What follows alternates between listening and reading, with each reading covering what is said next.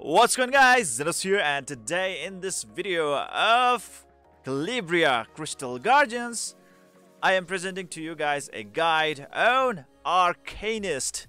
She is a 5 star net hero unit and definitely a S tier worthy character because she can deal amazing amount of damage being an attack unit and damn oh damn her attack stats is just too awesome uh, so far, she had been known as a hidden character because obviously her detail was not available in the archives. But now she is actually showing up in the archives. That means obviously I will be reworking on my uh, 5 star net hero tier list again, maybe by tomorrow.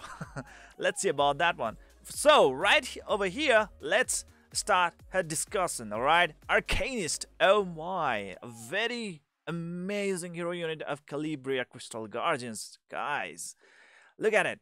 Her attack is 1426. Wow, it's very near to like or nearly same as that of Zeus himself.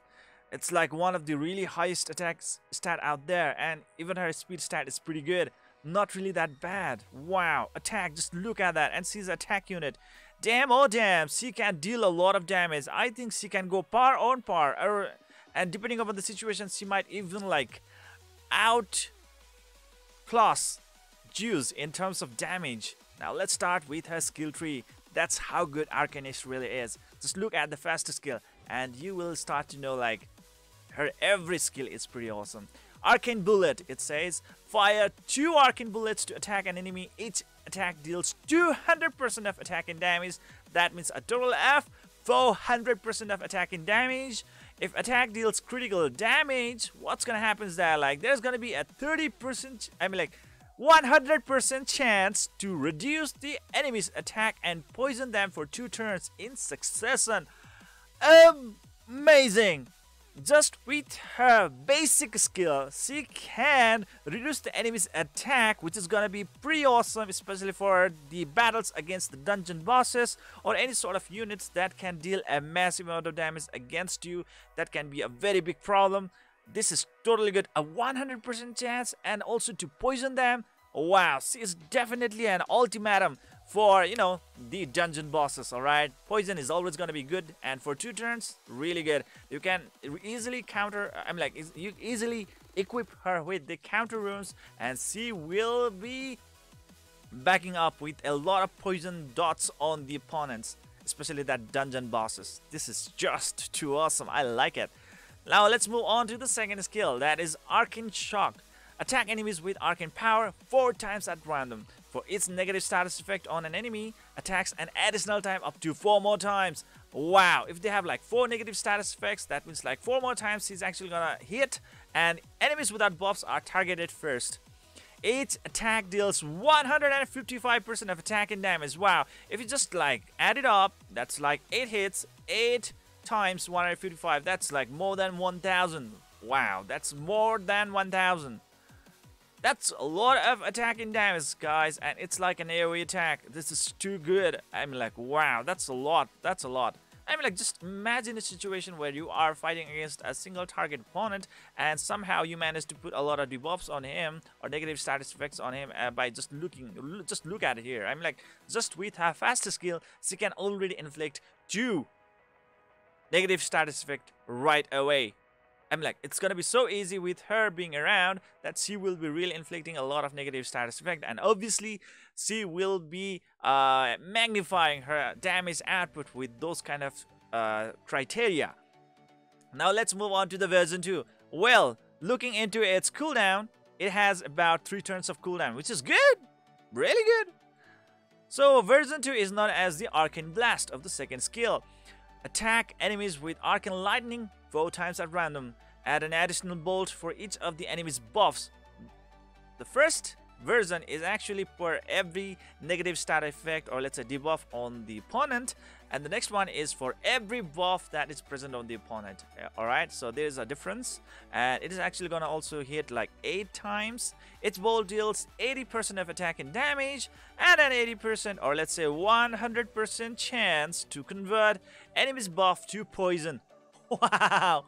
Wow. This is like what? Oh my a 100% chance to convert the enemy's buffs to poison. Like, damn. Damn, oh damn. Wow, wow. I mean, like, he is at least going, I mean, like, C is at least going to hit them, like, for four turns. And this is gonna be a chance to convert all of their buff into, like, you know, like, uh, this poison, uh, negative status effect.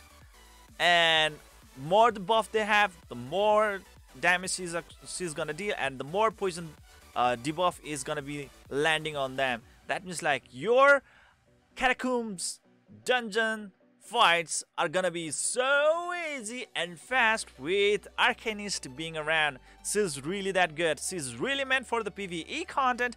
This is too good. And as it's an AoE attack as well, this is also really meant for the PvP or arena content as well. This can actually really provide a lot of damage output boost. I'm like more more than 1000 percentage of attack and damage.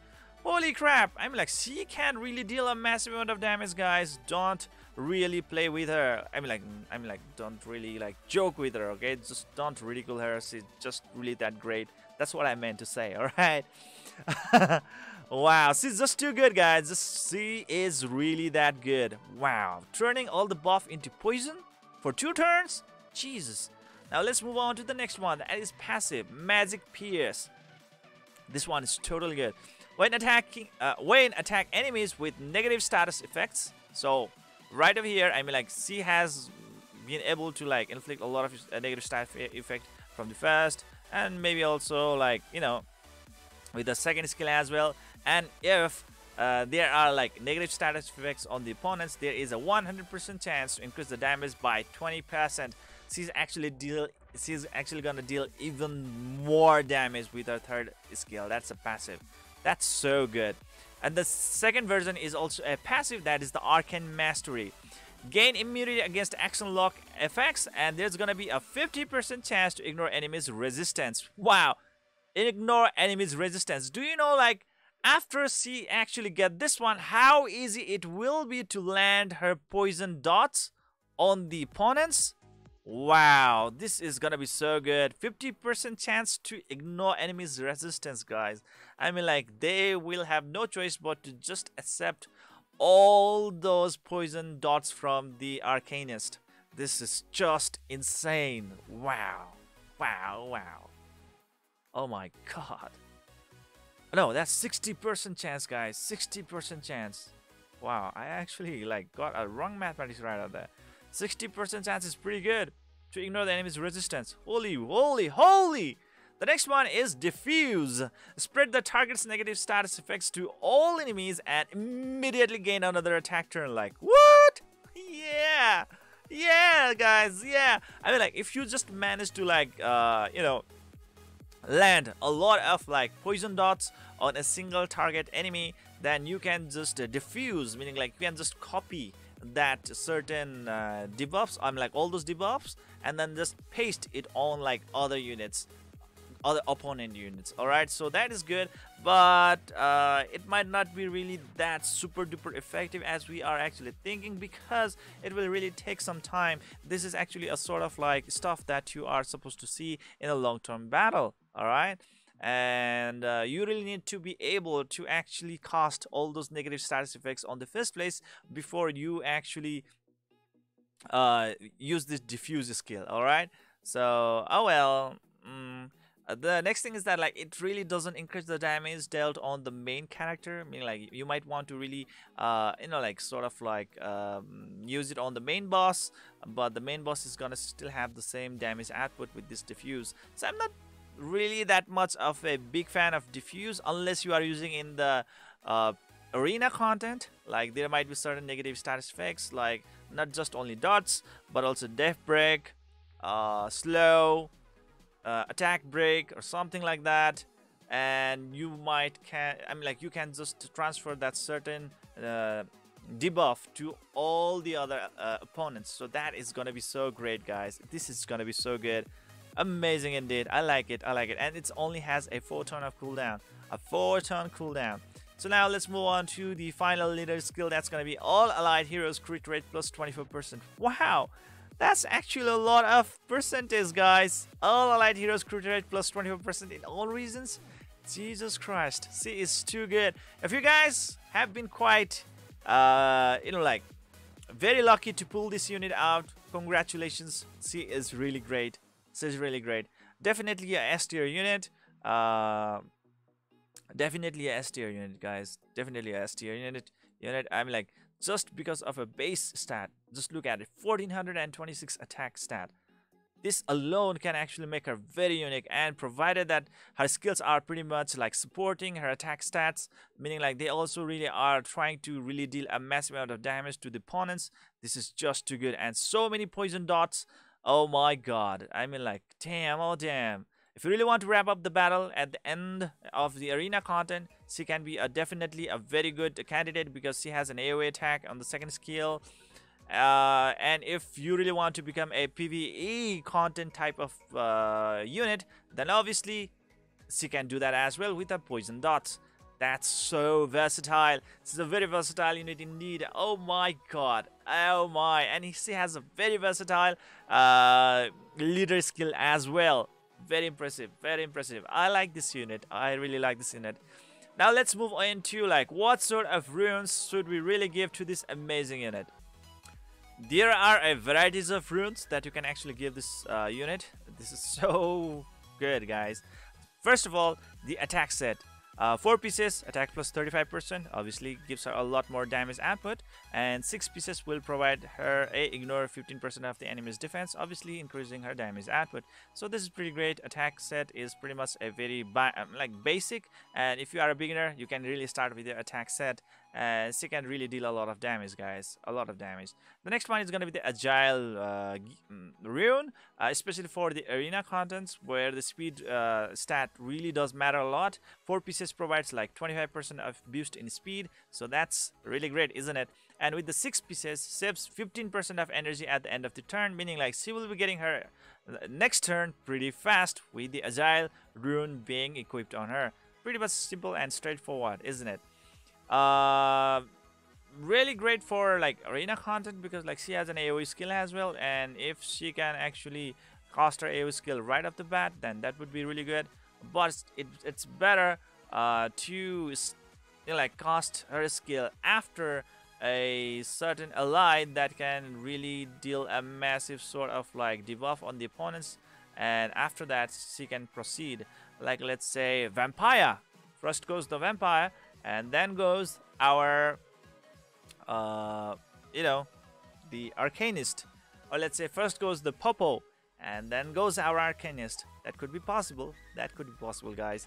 And now let's move on to the next one. That is gonna be the destruction this is also really great. 4 pieces provides like 40% of critical damage and 6 pieces will provide an additional 15% of attack boost. That is really great. A lot of damage output that you can expect from here and it can really put a lot of uh, like a big smile on your face. Destruction set is pretty awesome for her as well if you really want to uh, you know like focus on her massive damage output all right I mean like she has really one of the most mesmerizing and amazing uh, base attack stat guys. That said and done the next one is obviously gonna be Berserk. Obviously on her faster skills she has that uh, two debuffs or two negative status effect that she can apply on the opponents.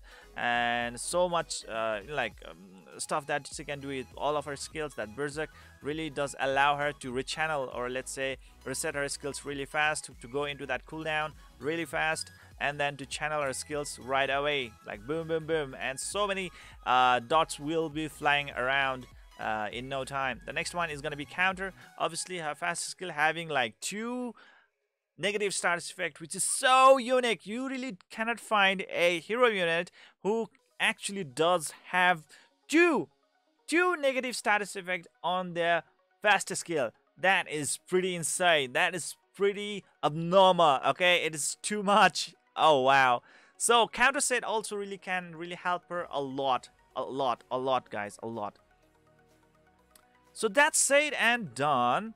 Uh, what sort of like uh, primary stats should we really focus on. For the second slot, guys, Uh, the primary stat should be like attack percentage boost if you really are trying to deal a massive amount of damage or you can go with the speed boost if you really want to focus more on the arena contents all right on the fourth slot obviously uh, critical rate percentage boost if you really don't have enough critical rate uh, on your stats. But you if you have already like managed to get a lot of critical rate boost from your uh, runes substats or through other various sort of ways then you can go with the critical damage boost all right so either critical rate or critical damage boost uh, provided that like how much critical rate you have. The next thing is gonna be the sixth slot. In this slot obviously no questions asked. It's gonna be a attack percentage boost but you can go with the hit percentage boost as well if you really do lack uh you know like like hit stats all right? Because the hit or let's say the accuracy really does allow you to land your poison debuff much easier okay? She really excels on her debuffs or negative status effects uh, application. Also and also her damage output all right so you really need to be good at both. But later on you can really focus on the attack percentage boost because uh, the hit percentage boost can be really gathered from this substats itself. So really don't need to worry about that one all right so uh, speed or attack percentage boost in the second slot. Crit rate percentage boost or critical damage boost on the fourth slot. And finally in the sixth slot attack percentage boost or hit percentage boost on the sixth slot all right? So that's how it goes on. And for the substats it's so easy. Speed boost attack percentage boost critical rate boost critical damage boost and the hit percentage boost all right? I say it again. Speed boost attack percentage boost critical rate boost critical damage boost and hit percentage boost. If you guys still cannot follow please do check out in the description section below of this video to check out uh, the extra information on these runes. Like I have really mentioned all of them in the uh, description section so you can always check that one out for the quicker access alright so this is pretty much it for today's. I hope you enjoyed this video. Please don't forget to hit that like and subscribe button to keep on enjoying the contents of my channel and see you guys in the next video